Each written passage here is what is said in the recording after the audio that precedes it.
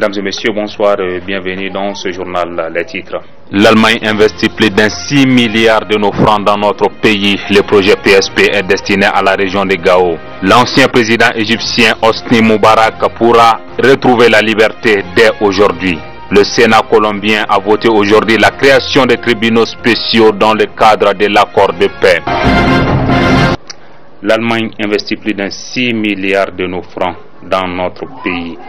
Le projet PSP est destiné à la région de Gao. Plus d'explications avec Ibrahim Adjaouyakoui.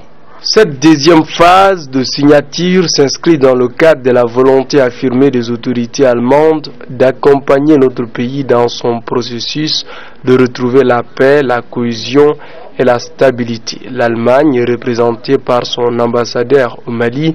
Le programme porté par le ministre des Affaires étrangères et exécuté par le GIS Mali. Cette nouvelle approche distingue le nouveau projet de l'ancien et complète l'approche des dialogues par des mesures concrètes à l'égard de la population éprouvée par la crise.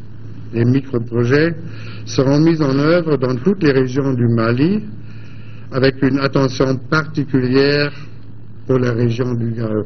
Nous sommes arrivés maintenant à une vrai grand pas avec la réconciliation et la mise en œuvre de l'accord de paix. Nous sommes là à côté du peuple malien et du ministère de la réconciliation de exécuter ce travail très important. C'est une enveloppe de 6 milliards de nos francs qui sera investie dans toutes les régions du Mali par des micro-programmes dont une prise en considération particulière de la 7e région Gao. Le gouvernement du Mali, représenté par le ministre de la Réconciliation nationale Mohamed El Mokhtar, ce dernier a remercié les Allemands pour leur amitié vieille de 57 ans.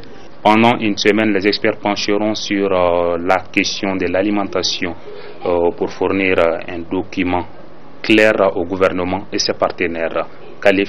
Du 13 au 18 mars, la capitale malienne Bamako abritera la deuxième session du cadre harmonisé d'analyse et d'identification des populations vulnérables à l'insécurité alimentaire.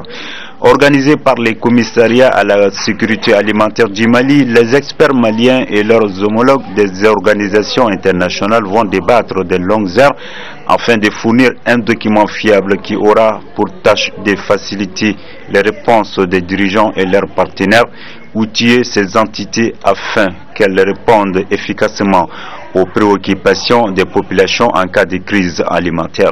Les femmes de la commune de Gabakoro Droit ont célébré hier la journée internationale des femmes, 8 mars. C'était en présence du maire de la commune. Tard vaut mieux que jamais, dit un adage. Les femmes de la commune de Ngabakoro, dans une ambiance de joie, de cohésion et de parfaite harmonie, ont commémoré, à l'instar des femmes du Mali et du monde, la journée internationale des droits des femmes. Cette cérémonie, organisée par l'Association des femmes de la dite commune, a inscrit la participation de plusieurs autres personnalités, dont le maire de la commune, Modibo Dambélé. Les femmes de Ngabakoro droit ont profité de cette heureuse occasion pour remercier les populations de leur commune pour le choix porté sur le candidat de l'Union pour la République et la démocratie URD lors des dernières communales. L'appel a été fait à l'artiste de chant et cantique Noum Dambélé pour colorer cette fête. L'ancien président égyptien Hosni Moubarak pourrait dès aujourd'hui retrouver la liberté. Khalif Hamed. L'information a été rendue publique par ses avocats. L'ancien président égyptien Hosni Moubarak a vu sa condamnation levée par la justice de son pays. La Cour de cassation a ordonné sa libération immédiate.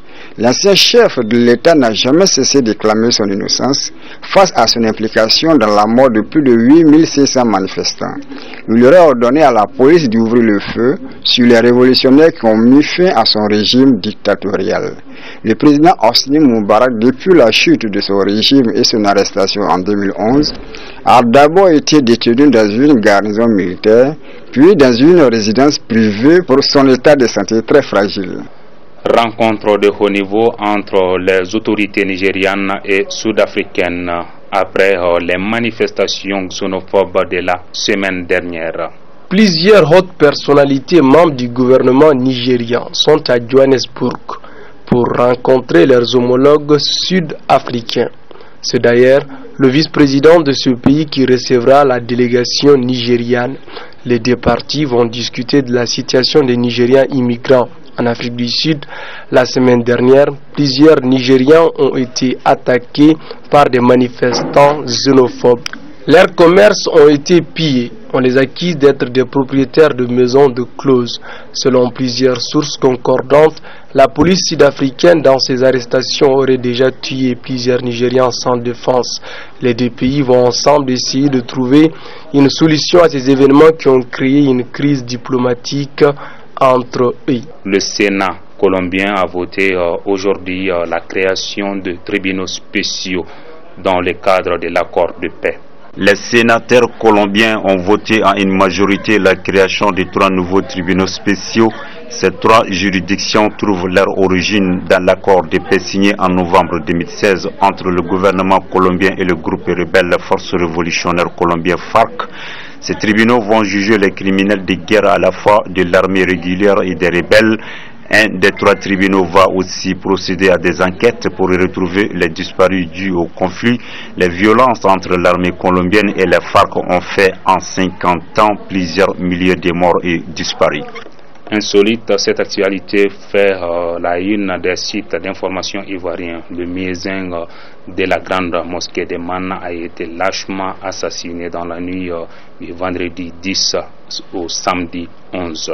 Les faits se sont déroulés vers 3 heures du matin. Le musée principal de la grande mosquée du Mont en Côte d'Ivoire s'est rendu à la mosquée pour l'appel quotidien de la prière du Fall lorsqu'un individu aidé par d'autres l'ont littéralement cloué au sol avant de procéder à des actes rituels maléfiques sur lui. Le corps tourné vers l'est, le malfaiteur assis sur sa poitrine le pique et le mord à plusieurs reprises. Selon certaines sources de façon miraculeuse, le tueur n'a pas pu bouger.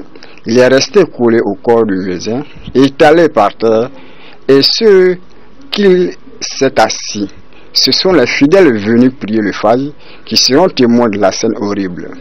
Le prix en flagrant délit sera lynché par la foule avant d'être remis à la police préfectorale du Mans.